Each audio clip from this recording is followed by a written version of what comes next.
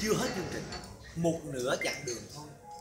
Bảy số mà cười tới nói rối nội tạng. Cười mà ruột thắt bính luôn. Không còn biết nói gì nữa. Quý vị phải đón coi thôi. Năm nay quý vị phải đón coi. Em bảo đảm người bí ẩn năm nay không vui. Thì không biết tiền. thì đó không lấy tiền. Quý vị coi truyền hình em không lấy tiền luôn. Em nói thiệt không vui là không lấy tiền. Thiệt nói chung là coi năm mùa à. quý vị phải coi năm nó có mấy, có mùa sáu em mới được mời làm mùa sáu dạ. em ơn quý vị. Chúc quý vị một buổi sáng tốt lành, I love you.